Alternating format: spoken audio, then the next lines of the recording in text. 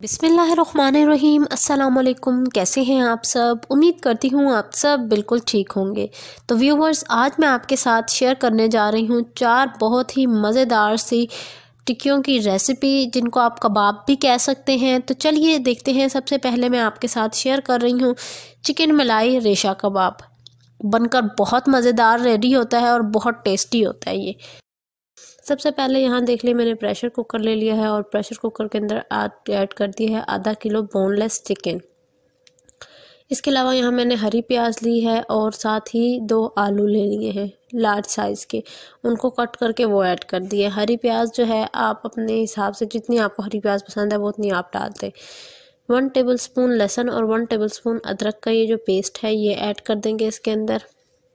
मैंने दरदरा सा कूट लिया था। इसके अलावा ये गरम मसाला है टू टेबल स्पून और चार हरी मिर्चें। ये हमने इसमें ऐड कर दी हैं। गरम मसाले से भी बहुत ज़बरदस्त सा निखर के फ्लेवर आता है। अब जब ये एंड पर रेडी होंगे ना तो आप भी ज़रूर इनको ट्राई कीजिएगा। कुछ मसाले हैं जिनमें है टू टेबल स्पून लाल मिर्च का पाउडर वन टेबल स्पून नमक वन टेबल स्पून ज़ीरा और वन टेबल स्पून ही जो साबुत हमारे पास धनिया है वो।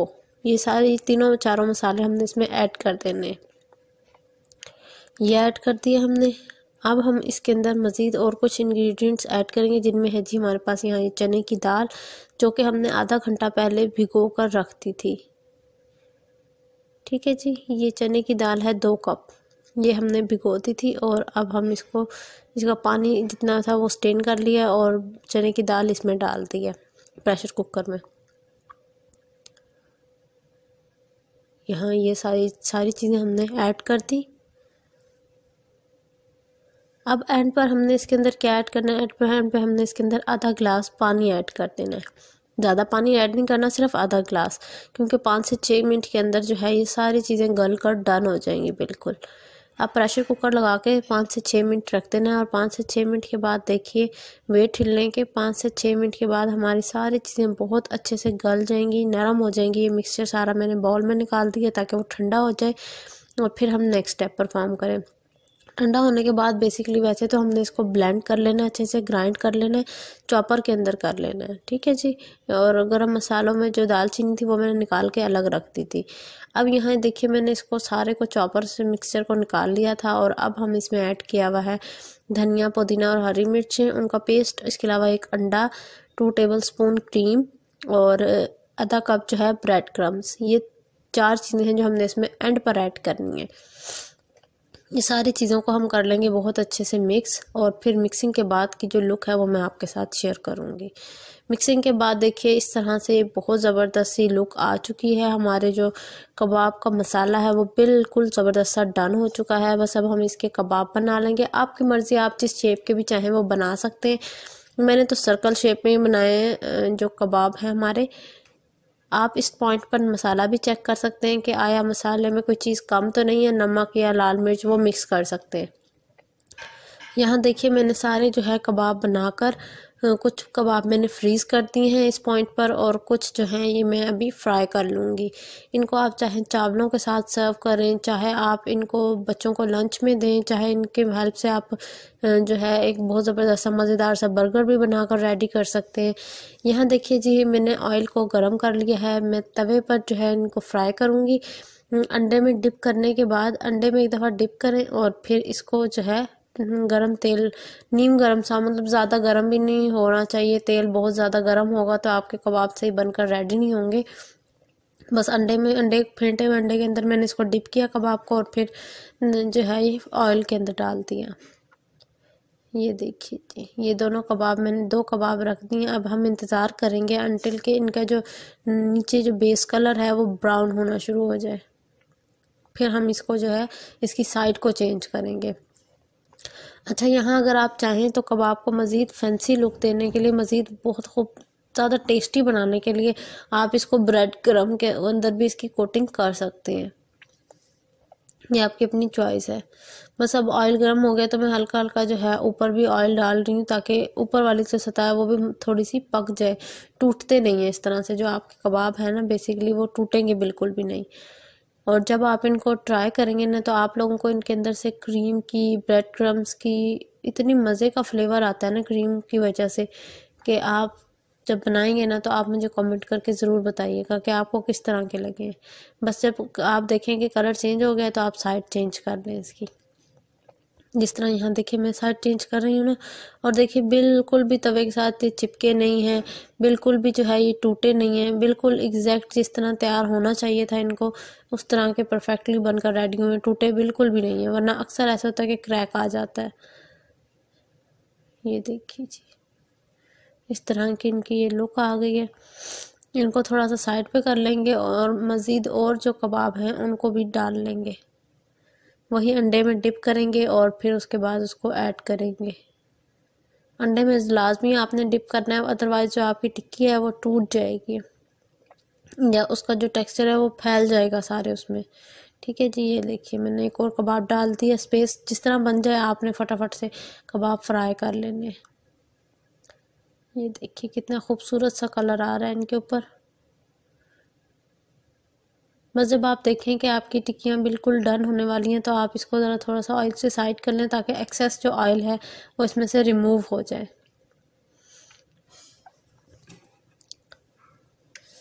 इस तरह से आपने तमाम कबाबों को फ्राई करना है। मज़ीद फिर भी आपको कोई क्यूरी हो तो आप मुझसे कमेंट में पूछ सकते हैं, मैं आपको ज़रूर रिप्लाई करूँगी नेक्स्ट वीडियो में। ये देखिए, ये जो दो कबाब हैं, वो हमारे बिल्कुल बहुत मज़ेदार से, बहुत क्रिस्पी से बनकर रेडी हो चुके हैं। बस अब हम इनकी फ़ाइनल लुक आपके साथ शेयर करते हैं। देखिए जी फाइनल लुक इस तरह की आती है। बहुत मज़ेदार, बहुत टेस्टी और फ्लेवरफुल जो हमारे कबाब हैं, वो बनकर रेडी हो चुके हैं। कोई भी चीज़ जो है, वो कम नहीं थी। परफेक्ट थी सारी चीज़ें, बिल्कुल मसाले। अब आप चाहें तो इसको जो है सॉस के साथ किसी से, सर्व करें, या चाहें तो आप इसको दही के साथ सर्व करें, या आपकी अपनी मर्ज़ी है। ये देखिए जी, कितना खूबसूरत सा इनका कलर आया फ्राइंग होने के बाद।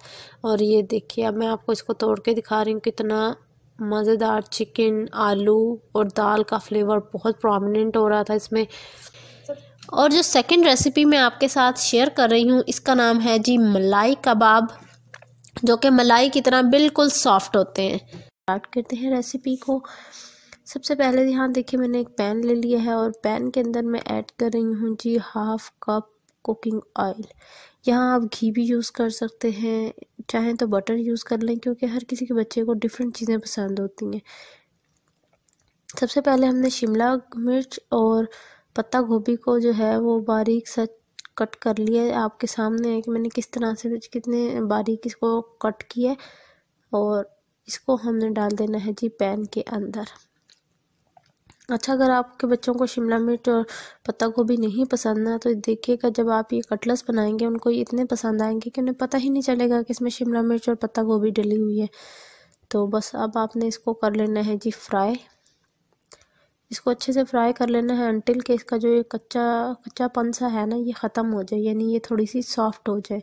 ज़्यादा सॉफ्ट नहीं करनी मतलब नॉर्मल सी सॉफ्ट करनी। है यहाँ मैंने सिरका ऐड किया है two two three tablespoon नहीं बल्कि टू टू थ्री ड्रॉप्स और ये टू टू थ्री ड्रॉप्स मैंने सोया सॉस ऐड कर दिया है।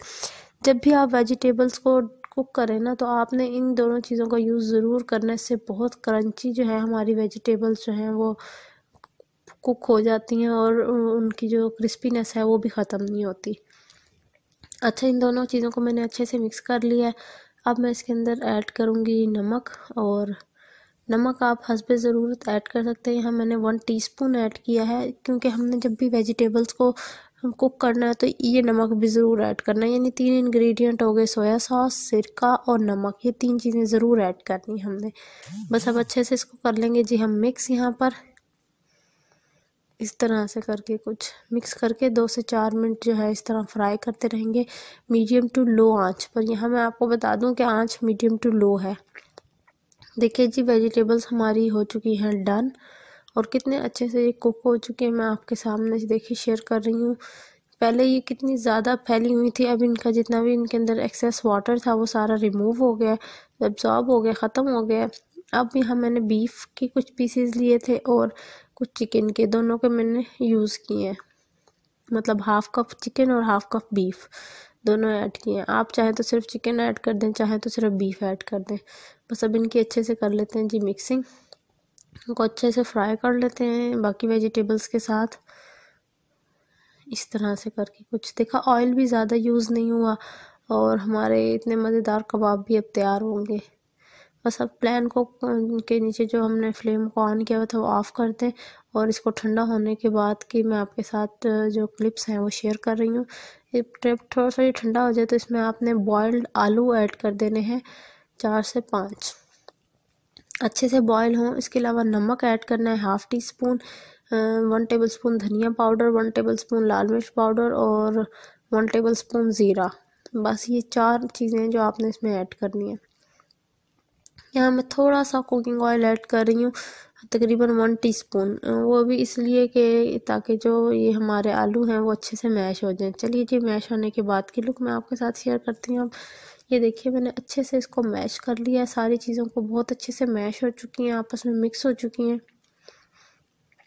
ये देखिए जी, इस तरह के कुछ लुक आती है मैशिंग के बाद की अभी इसके इंग्रेडिएंट्स ख़त्म नहीं हुए, अभी हमने और भी बहुत सारी सीक्रेट चीज़ें इसमें ऐड करनी है जिसकी वजह से इसका टेस्ट बहुत डिफरेंट हो जाएगा।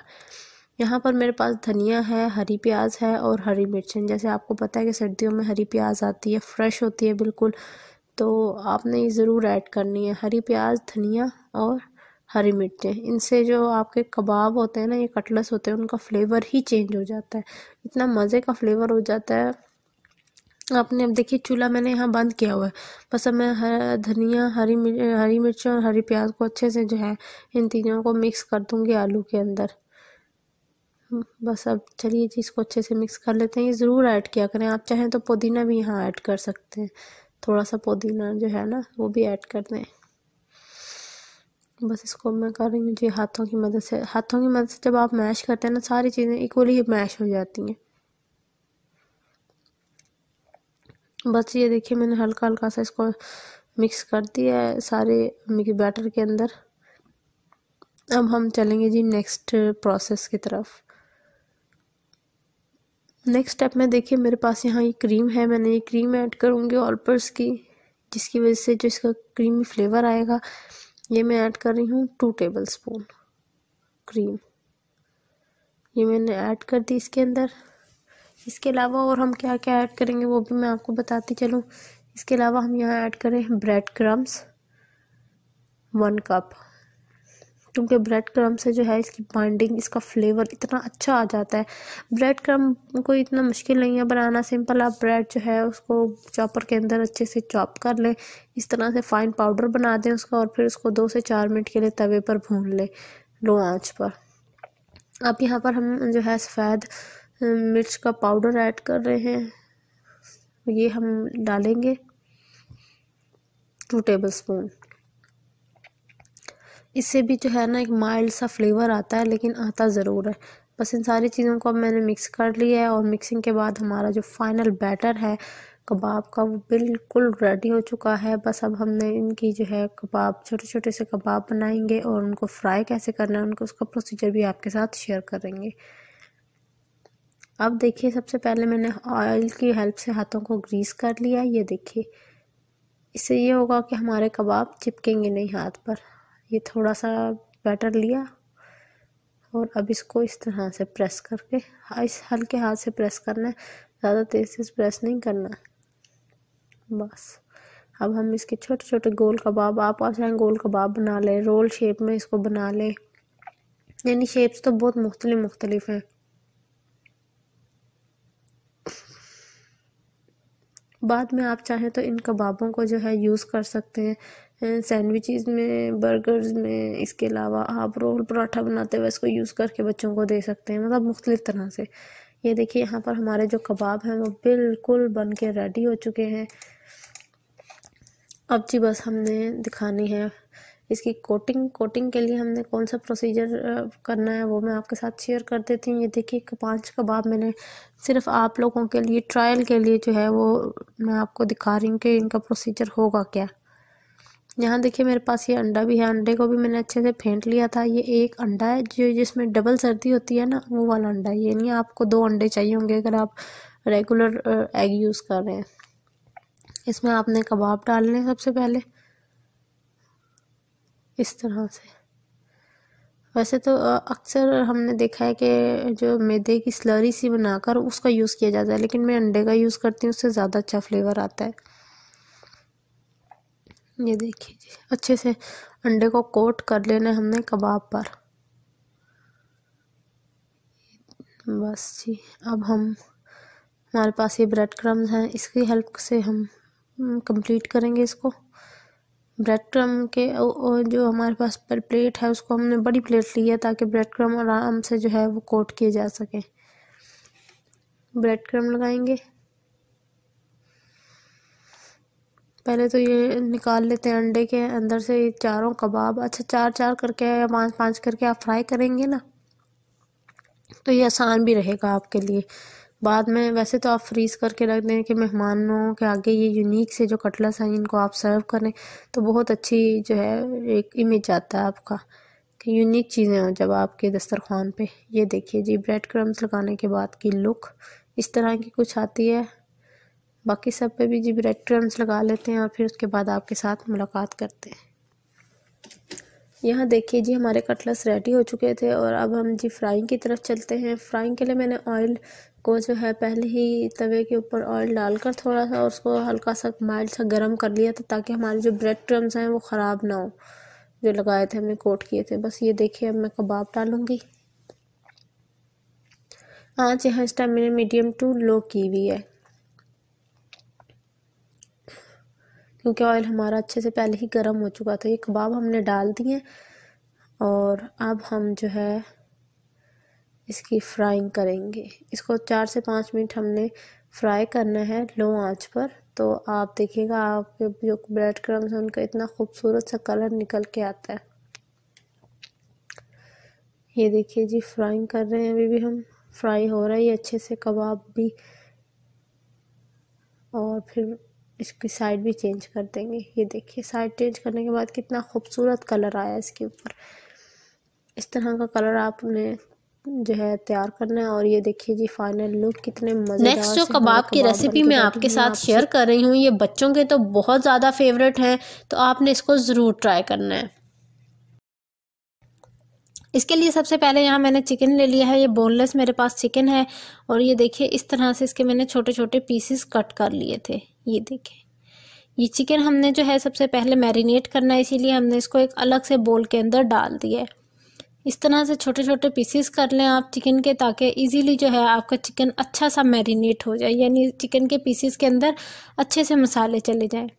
इसके अंदर आप सबसे पहले हसब ज़रूरत हम ऐड करेंगे जिंजर गार्लिक पेस्ट मैंने जो है टू टेबल स्पून ऐड किया है, ताकि इसमें जो है अच्छा सा फ्लेवर आ जाए। कुछ मसाले ऐड करेंगे जिनमें है चिली फ्लेक्स हल्दी पाउडर धनिया पाउडर नमक, लाल मिर्च का पाउडर और ज़ीरा। ये कुछ मसाले हैं जो हमने जो है चिकन की मैरिनेशन में ऐड करने हैं। अच्छा चिकन की मैरिनेशन में जितने मसाले ऐड करने हैं, हमने ये सोच के ऐड करना है कि जो है हमने आगे जो भी इसमें कुछ इंग्रेडिएंट्स ऐड करने हैं बाइंडिंग के लिए, उसमें हमने और कुछ नहीं डालना। यहाँ चिली सॉस ऐड किया है two tablespoon two tablespoon जो है हमने सोया सॉस ऐड किया है। ये सारे जो मैं आपके साथ शेयर कर रही हूँ इंग्रेडिएंट ये स्किप नहीं करने आपने। साथ ही सिरका ऐड कर दिया मैंने टू टेबल स्पून यानी विनेगर हंसपे ज़रूरत। आप जो है विनेगर कम ज़्यादा भी कर सकते हैं, ताकि इसमें जो है, अगर आप खटास ज़्यादा चाहते हैं या मसाले स्पाइसी ज़्यादा चाहते हैं तो आप लाल मिर्च का पाउडर इंक्रीज़ कर सकते हैं उसकी क्वान्टिटी बस अब हाथ की मदद से अच्छे से जो है चिकन को मिक्स कर लेंगे इस तरह से, ताकि जो मसाले हैं वो सारे अच्छे से मिक्स हो जाएँ। मिक्सिंग के बाद अब हमने इसको जो है ओवरनाइट के लिए मैरिनेट होकर कवर करके छोड़ देना ओवरनाइट से ये होगा कि जो आपके चिकन है उसके अंदर अच्छे से मसाले भी मिक्स हो जाएँगे और मैरिनेशन भी बहुत अच्छी सी रेडी हो जाएगी। चलिए अब हम इसको कवर करके ओवरनाइट के लिए छोड़ देते हैं, फिर ओवरनाइट के बाद आपको इसकी लुक दिखाते हैं। यहाँ देखिए वो सुबह हो चुकी थी और फिर मैंने इसमें जो है, इस चिकन इसमें से कुछ चिकन निकाल के रख दिया था। आधा चिकन हम यूज़ करेंगे इन जब भी हम मैक्रोनी की कोई रेसिपी बनाएँगे तो उसमें वो चिकन आप यूज़ कर लें और आधा चिकन मैंने यहाँ पर यूज़ किया है बाकी कबाब्स बनाने के लिए। सबसे पहले इसमें मैंने एक प्याज बड़ी साइज़ की डाल दी है रफली कट करके। रफली कट करके ही मैंने इसके अंदर ये बड़ी जो मोटी मिर्चें होती हैं, ये ऐड किए हैं दो से तीन। इनसे जो है असल में बहुत अच्छा हरी मिर्चों से, बड़ी हरी मिर्चों जो मोटी होती हैं, उनसे अच्छा फ्लेवर आ जाता है। यानी इसमें ज़्यादा जो है करारापन नहीं होता या ये कह लें कि इसमें जो मिर्च होती है, उसका फ्लेवर ज़्यादा नहीं होता। इसमें सिर्फ़ क्रंचीनेस आती है इससे।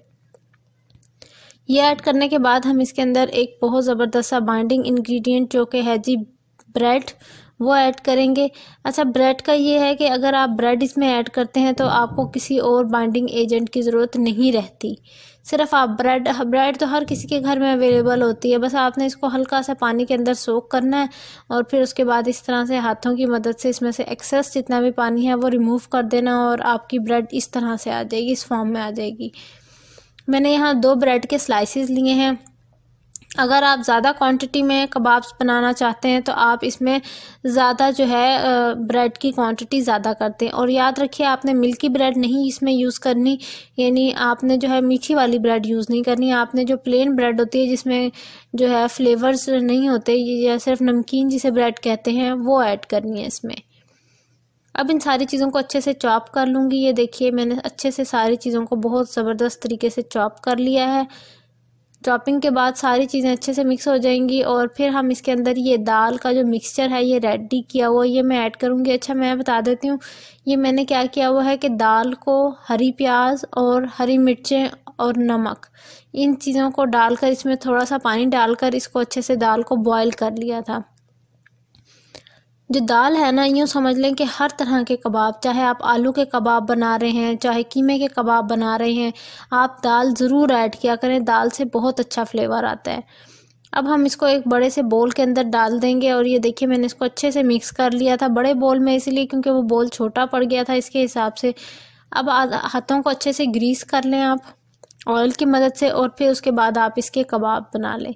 इतने ज़बरदस्त से कबाब बनकर रेडी होंगे। यानी आपने देखा कि इसमें हमने इतने कोई भी जो है एक्स्ट्रा मसाले ऐड नहीं किया आपकी मर्ज़ी हो तो आप इसमें जो है आलू भी ऐड कर सकते हैं।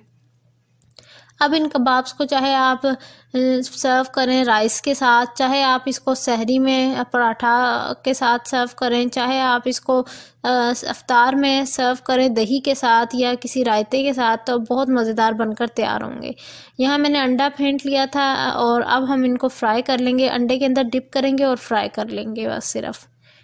जल्दी से इसको फ्राई कर लेंगे। अच्छा तवे पर हम फ्राई कर रहे हैं नॉन स्टिक का ये तवा है और ऑयल हमने बिल्कुल थोड़ा सा ऐड करना है। बहुत ही बस इतना कि हमारे जो कबाब हैं वो फ्राई हो जाएँ। ज़्यादा ऑयल ऐड नहीं करना और इस तरह से जो है देखिए कितना खूबसूरत सा कलर आना शुरू हो चुका है हमारे कबाब के ऊपर। ये देखिए जी।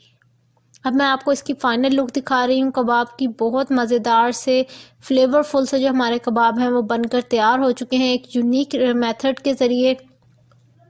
और लास्ट जो रेसिपी मैं आपके साथ शेयर कर रही हूँ ये है जी बहुत ही ज़बरदस्त है कमर्शियल लेवल के आलू के कबाब ले लिए हैं और आलूओं को हमने अच्छे से मैश कर लिया था।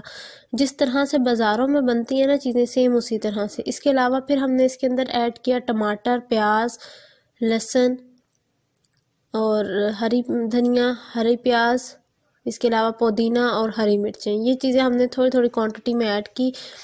देन उसके बाद कुछ मसाले ऐड किए, जिनमें था जी लाल मिर्च का powder one tablespoon half tablespoon ज़ीरा। अच्छा जो ज़ीरा है, ये रोस्टेड ज़ीरा आपने यूज़ करना है, जो बाज़ारों में यूज़ किया जाता है, वो रोस्टेड होता है।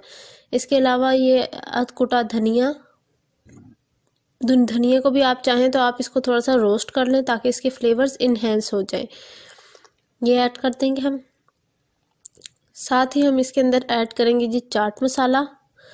चाट मसाला जो है मेजोरिटी जो आलू की टिक्की होती है या आलू के कबाब हो गए, इसके अलावा चिकन के कबाब, उसमें चाट मसाला बाज़ार में ज़रूर डाला जाता है। जो बाज़ारी टिक्कियाँ होती हैं ना, उनमें ज़रूर ये चीज़ ऐड की जाती है। चाट मसाले के अलावा हमने हाफ़ टेबल स्पून नमक भी ऐड कर दिया है। अब हम इस सारे मिक्सचर को जी अच्छे से कर लेंगे मिक्स और मिक्स करने से पहले हम इसके अंदर जो अंडे की सफ़ेदी है ना, सिर्फ़ वो आपने ऐड करनी है। थोड़ी सी आपने अंडे की सफ़ेदी ऐड कर देनी है, ये देखिए इतनी सी बस। यानी तकरीबन ये टू टेबल स्पून थी। ये ऐड कर देंगे और अब हम कर लेंगे इसको बहुत अच्छे से मिक्स हल्के हल्के हाथ से जैसे किया जा रहा है, इसी तरह आपने भी इसको मिक्स कर लेना है। जब ये बनकर तैयार होंगी ना तो आपको इंशाल्लाह वही फ्लेवर मिलेगा जो आप बाज़ारों में खाते हैं ना, टिक्कियाँ, या फिर बाय करके लेके आते हैं घर, आलू की टिक्की को। अब हम जो है, वो मिक्सर तैयार हो गया। अब हम घोल की तरफ़ देख लेते हैं। जो ये घोल हमने बनाना है, ये जो बेसन की स्लरी बनानी है, इसमें हमने हाफ़ टेबल स्पून नमक और इसके अलावा हाफ़ टी स्पून ये बेकिंग पाउडर और हाफ़ टेबल स्पून लाल मिर्च का पाउडर और हाफ़ टेबल स्पून ज़ीरा ऐड कर देना है। ये सारा ऐड करके इसको अच्छे से पानी के अंदर इस तरह की, ये देखिए, जिस तरह ये स्लरी दिखाई जा रही है, इस तरह की ये स्लरी बनानी है आप लोगों ने। यानी जो ज़्यादा ना थिक हो और ना ज़्यादा लूज़ हो। ये आपने रेडी कर लेनी है और फिर उसके बाद आपने अपनी आलू की टिक्कियों को जिस मर्ज़ी, जिस तरह की भी शेप चाहते हैं आप आप शेप दें और फिर जो है इसमें डिप करने के बाद इसको फ्राई कर लें। फ्राइंग के बाद की जो लुक होती है वो बहुत ज़बरदस्त होती है और बहुत ही फ्लेवरफुल आपकी जो है आलू की टिक्कियाँ बनकर तैयार होती हैं।